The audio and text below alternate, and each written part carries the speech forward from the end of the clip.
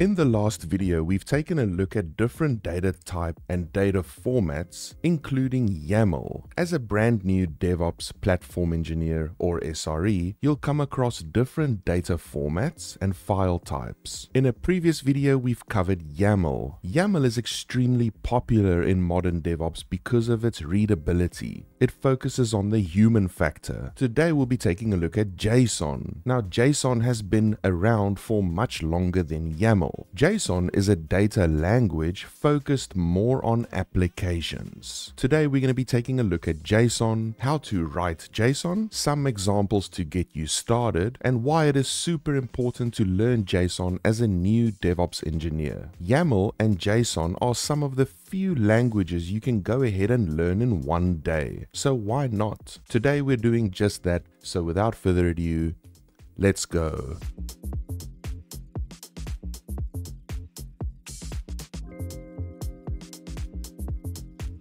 Now, JSON stands for JavaScript Object Notation, and it's basically a lightweight data interchange format. It's fairly easy for humans to read and write, but more importantly, it's easy for machines to parse and generate. So JSON is very popular in API or process or application communication and passing data between them. Also note here that it specifically is for object notation. So similarly to how we described objects in YAML, we can do this in JSON as well. JSON often describes objects, which represents data that is transferred between applications. So JSON is similar to what we've learned in YAML for describing data. Similar to how we learned in YAML, in an IDE like VS Code or developer tool, I can right click, I can say new file, and I can create a new file called infrastructure.json. Notice the file extension is called .json, which describes a JSON file, and the IDE has this special icon so it knows that this is a JSON file. Now, just like YAML, in JSON we described objects basically building out our data. And objects can be anything, so we can use our imagination. And objects have fields to describe the object. In JSON, we use keys and values to define fields on an object. So we can have an object called a person that can have a field called first name or another field called last name. Now important to know that JSON is built on two types of data structures. The first one being a collection of name value pairs or key value pairs, similar to YAML. In various languages, this is realized as an object, a record or a struct, dictionary, hash table, keyed list, or associative array.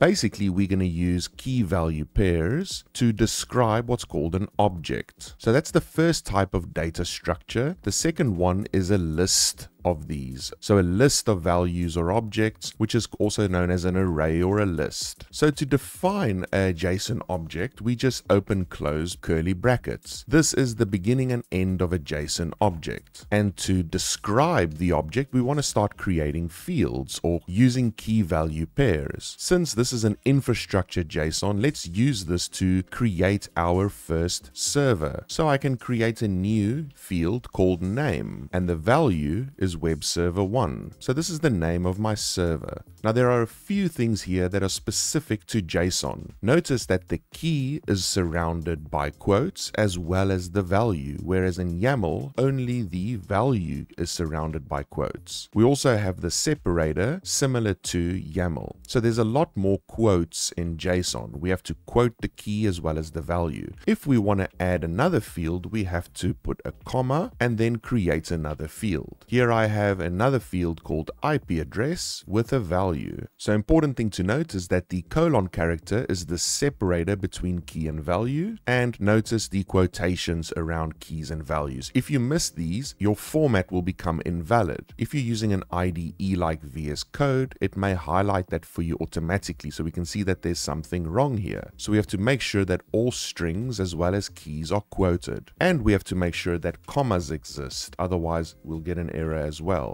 We don't have to put a comma at the last field. If we do that, we'll also get an error. You can see that there's an error trailing comma there. So JSON enforces quotes for strings and keys. And the other thing to note is that we have these curly brackets to form the start and end of an object. This is something we did not have in YAML as YAML used indentation. So YAML used spaces to indicate the start and end of an object. So spaces have its purpose in YAML. For JSON, spaces like these spaces we have over here is purely for readability. Technically in JSON, I could just do this and put everything on one line. I can also remove some of these spaces, like so. So I could do this to make the file slightly smaller, basically compress all my data into a single line, remove all spaces, but this impacts readability. This is great for server-to-server -server communication, but not good for humans to look at, whereas this is much easier on the eye. Now in JSON, we can also nest objects, so we can have objects inside of other objects. So here we have two string fields. We could put a comma and then create another field. So here I'm going to create a field called operating system, and instead of just doing this and creating just another string value, I'm going to create an object value by opening and closing the curly brackets. This is defining a new object, and for readability, I can just press enter, and we can assign some fields to this object. So I'm going to give a field here called type. This is Linux. I'm going to put a comma and start another field. I'm going to say my distribution is Ubuntu, create a comma to do my last and final field with version 24.0. So here I have another key and the value this time is an object instead of a string. So I can nest objects and have objects within objects, just like we did in YAML. So the important takeaway is that the curly brackets is what stops and starts objects as this whole unit of text is an object and then we start another object within that object as a value.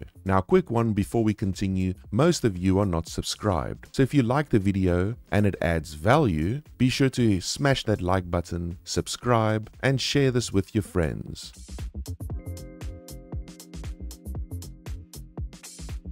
Now JSON supports a few different data types. So far we've taken a look at strings. We've also taken a look at objects. So value can either be a string or an object. We can also have numerical data types for numbers. So for my server example, we could introduce a field called CPUs and the value can be numeric. Here we have an 8-core machine. These numbers can also be decimals or floating point numbers. So we can have something like memory as an example. So here we have a decimal number. So we have strings, we have numbers, and we have objects. There is another data type called Boolean. So for example, we can have a field called has public IP and we can set this to false, indicating that this server is a private server. Notice that the numerical data types as well as the Boolean data types don't have quotes around them. And also notice that I'm strictly placing a comma after each field, which indicates the start of the next field. Now, as you may have noticed, JSON is a little bit more stricter than YAML. We have to have quotes around keys and values. For strings, we don't have any quotes around numerical data types and Boolean, and JSON strictly supports true or false without quotes. In YAML, we could say true, false, yes, no, on and off, and we could use a variation of cases. In YAML, we also noticed that we could add comments. So I was able to put a comment like this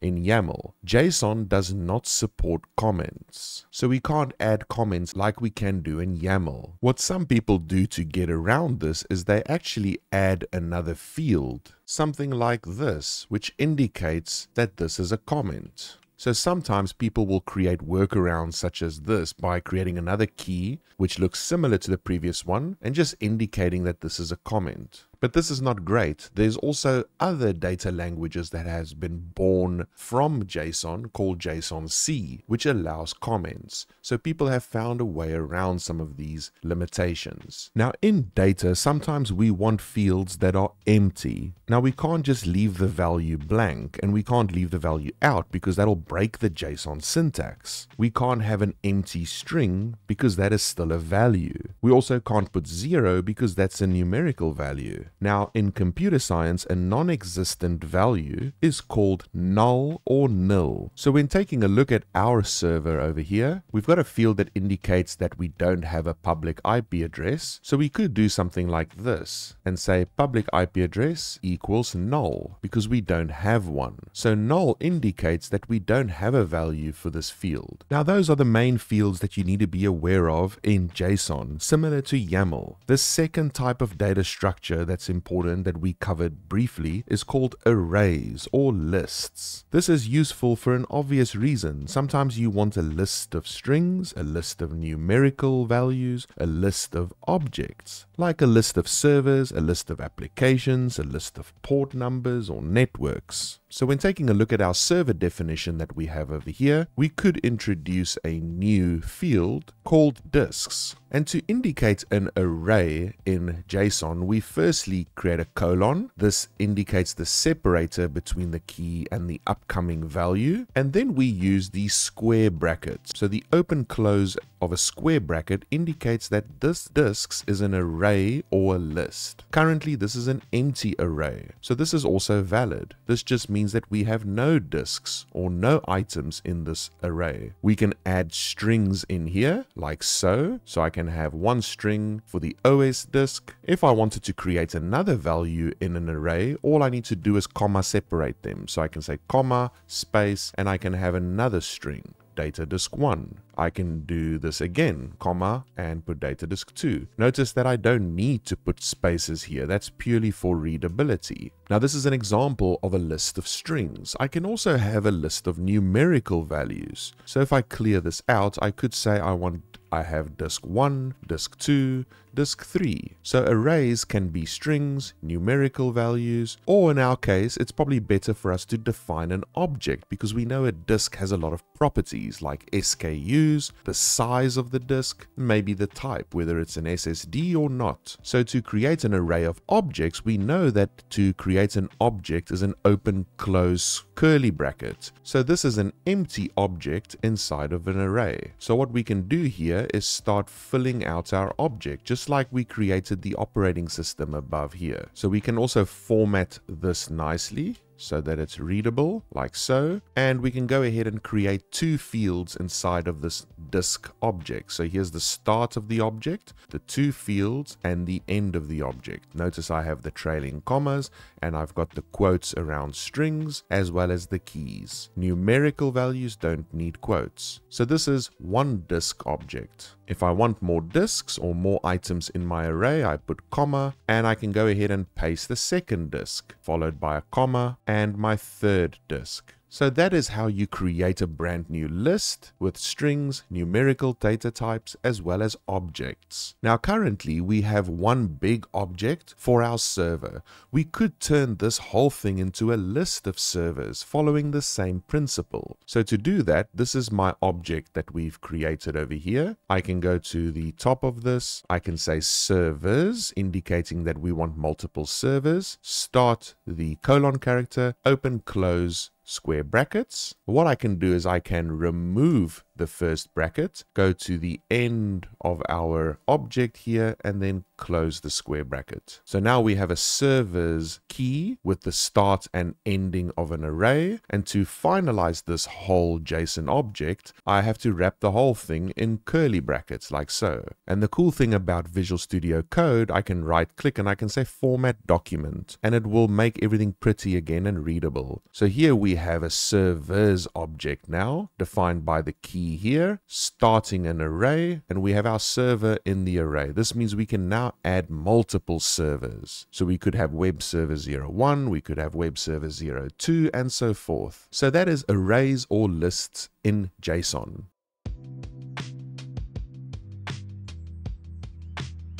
So firstly, why is JSON so important? Not only is JSON used to communicate between applications, it's mainly a data format to hold data. Software engineers, developers, front-end developers, back-end developers will all understand JSON. And when you work as a DevOps engineer, platform engineer, or SRE, you will work alongside developers a lot of the time. So it's good understanding the stuff they have to deal with. But there's a lot more to JSON. JSON has been around a long time, a lot longer than YAML. So most applications support JSON as a way to configure those applications. So JSON is also used as a configuration language to configure applications. Most programming languages support JSON for configuration. JSON has also become the de facto standard for applications to communicate to one another and transfer data back and forth. JSON is great and efficient for programming languages to parse and read the data. It's quite good for performance, it's pretty easy to read for humans, but it's mostly designed for systems. YAML was born out of JSON because YAML is a lot easier to read. This means wherever you can use YAML, you generally can use JSON as well. So YAML is very important because it's also used in infrastructure as code, such as AWS code pipelines or Azure ARM, configuration management, such as Ansible, CI/CD pipelines, REST APIs for transferring data, logging and monitoring and observability platforms. Logs are also often formatted in JSON for parsing